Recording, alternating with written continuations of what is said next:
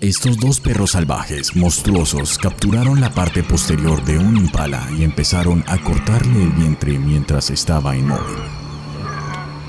El pobre animal chillaba de dolor, mientras las tripas se le salían del cuerpo.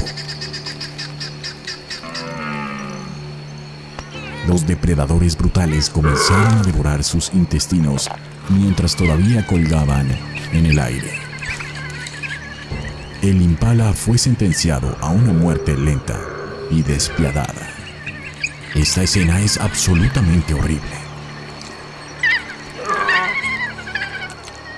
En otra escena, esta manada de perros salvajes se estaba dando un festín con un impala recién muerto, cuando dos hienas se les acercaron y trataron de robarles la comida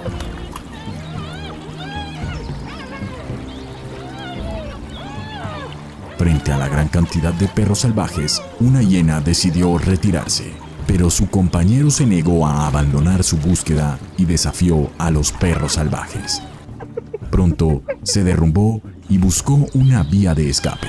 No lograría correr sin la ayuda de su camarada.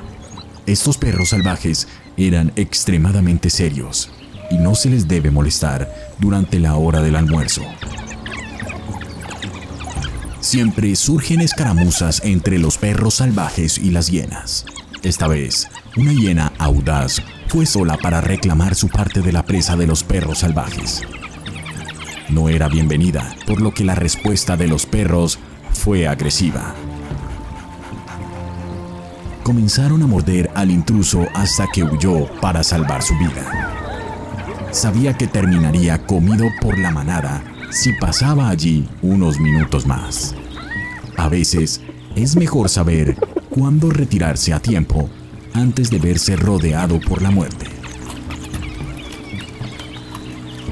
La hiena fue perseguida por toda una manada de perros salvajes hasta que se encontró atrapado entre su número y las profundidades del río. Utilizando sus caninos, comenzaron a morderle las extremidades, tratando de perjudicarlo. Incluso si ocurre un milagro y él escapa, sus cicatrices siempre permanecerán. Un acosador finalmente es también el acosado.